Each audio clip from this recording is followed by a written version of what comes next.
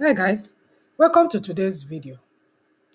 In my last video, I showed you how to download the Audaces Fashion Studio. If you've not done so, please go ahead and watch that video. I will put the link below this video and I also put the link right here because you need to download the Audaces Fashion Studio to be able to follow me along in this video. In today's video, I'm actually going to tell you how to start with Audaces Fashion Studio. We are going to be discussing all the menus that you see in Audaces Fashion Studio, what they are used for, and how you can actually start using Audaces Fashion Studio. When you open the icon on your computer, this is where it takes you to. So you just come here to start creating and then it opens up here where you can see all the models that you can use. Audaces has several models you can choose for. I have a video where I showed you how to create a model of yourself to be able to use on Audaces Fashion Studio. I will also link that video right here and also below this video. That means you can either use any of these models here that Audaces already has or you use your own uh, uploaded models. So go ahead and watch that video if you want to use your own model. But for this demonstration of how Audaces works, what every menu in Audaces is used for, I'm going to be using any of these models. So once you click on that, just click on any one that you like. Let me start with this female heels. And then you can click on elevator and choose then you can decide to choose this. Whatever one you choose changes the color scheme of the elevator. So once you've chosen any one that you like, you now go to OK. And that is the model you can use to do any style that you want. So in this video, I'm going to be showing you, talking about all the menus in Audacious, what you can use it for, and how you can actually use them to begin to create your very own designs. Stay tuned.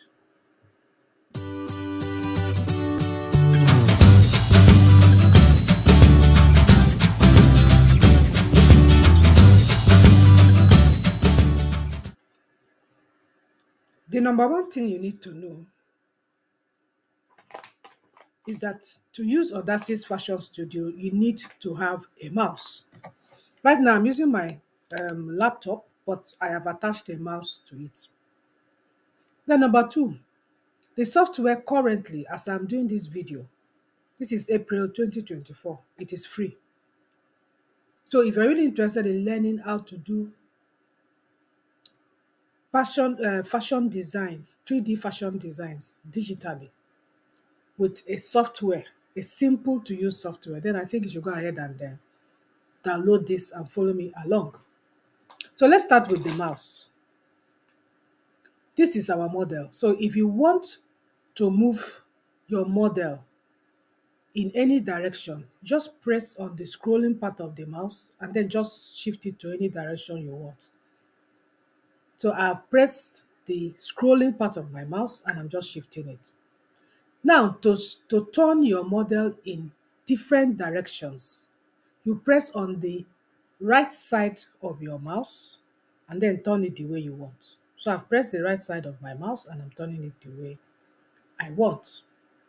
Now, here you have all different basic designs that Audaces has. Like you have a basic dress, you have a blazer, you have a bumper, you have a dress A-line. These are where you can get simple dresses and start from there to design. You can decide to do that or you can just decide to design directly on your models. And to get any design, all you have to do is to click on it. Once you click on it, you download it. You download it and then you double click for it to be on top of that. So if we want to do that, like i click on OK. So right now it's downloading. It has downloaded a basic dress. So if I want this basic dress to be on my this model, I will just double click it and then it will come on my model. It's as simple as that. So you can start with this dress, maybe to create different dresses, V-neck, maybe change the hand to a raglan sleeve or make it longer, whatever you want to do with this. You can start with that. So let me go back and let me remove this. So let's come to the menus. You have the home menu, you have the creation menu, application menu, ambience menu. You have here a mesh menu where you, if you want to add another dress on top of the dress you have on the man- mannequin. That has its usefulness. As I continue to upload videos, you know how this can be used. If you come to the file menu and you click on it, here you can create a new file if you want to create a new mannequin. Here you can open a file that you already have. Here you can import a mannequin. This is what I used in the last video that I told you how to create your own 3D and upload it or import it onto Audaces. So this is where you use if you have your own 3D already prepared. And then you import it in an in a particular form, FBX form. I explained all that in that video, so you can go ahead and watch that video. Here you can import your garments in OBX form to whatever garments you feel you want to import into Audaces. Here you save your work and all that. And here you can ex export your pattern once you finish designing designing it.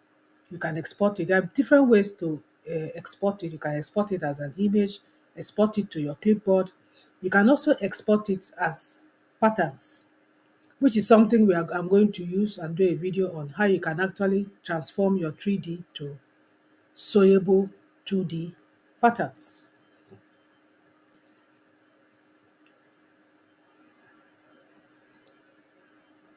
So now we are done with the file. Let's continue with home. If you click on the home, you have several things here. Here you have your garment library. If you click it, the same garment comes out that I just removed. If you want to access your garments, go home again. Here you want to show symmetry. Why do you do symmetry? If I click on that, see this that comes on the on the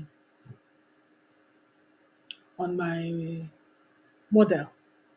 This symmetry helps you when you're doing a design on one side of the body. It automatically creates the same design on the other part of the body. That is the essence of symmetry. Apart from here, you can also get symmetry down here. It's the same thing right here. It's also symmetry. Once you click on it, it does the same thing. As you see, I clicked on it and the symmetry is gone. I can click on it again and the symmetry comes back. So as I said, it is always best to use this if you want to do any kind of design so that the design will, will replicate itself on the other side of your model. So let's go on to creation. This is where you have all the tools that you want to use to do all the designs in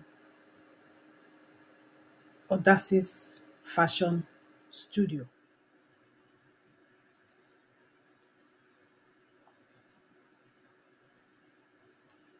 I am not going to go through these creation tools. I'm going to create a video specifically to show you how to use Audaces creation tools because if I'm to do this, the video will be too long.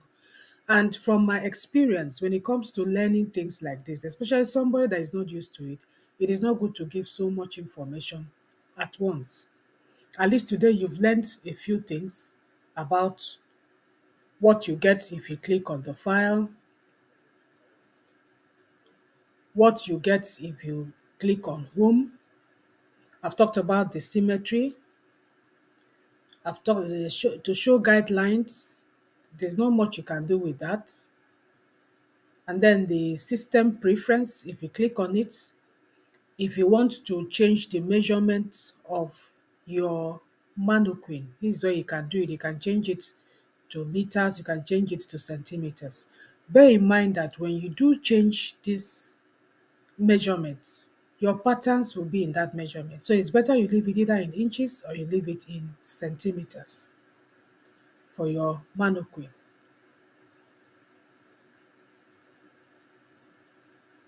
So let's still go back home. And then if you want to know so much about uh, Audaces, there is this knowledge base here. Remember, we are still on the home tab. I'm going through the home tab. So I think it's better for me go through the home tab. In my next video, which will be part two, we'll now go through the creation tab. So this here is the home tab. And under the home tab, you can also have a knowledge base. I'll come back to that. And then you have a runway. You know, you can see your creation after creating it, the way it looks on a runway. And this is how you can also open your showroom.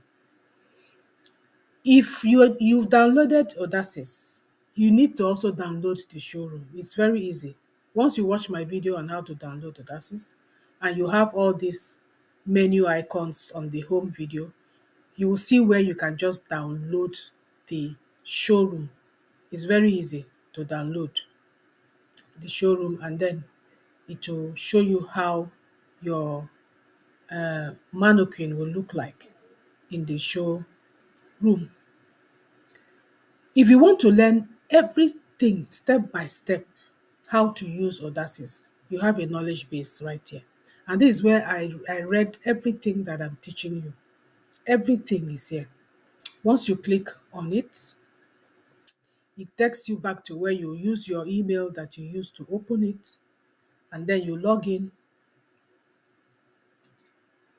So once you log in, there you have all that you need to learn how to use Audaces Fashion Studio. You have a lot of tutorials. You have a lot of uh, um, videos. Like look at knowing the Audaces Fashion video. You start here. Audaces Fashion Studio, sorry. You start here. Shows you videos on how you can create 3D fashion styles with Audaces Fashion Studio.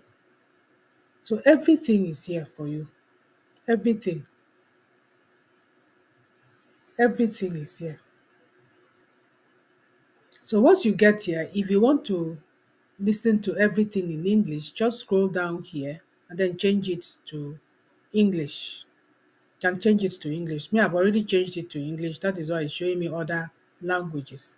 So once you change it to English, you'll be able to go through all this that you need to go through. So I've come to the end of the part one of this video where I've shown you how to actually start understanding Audaces Fashion Studio.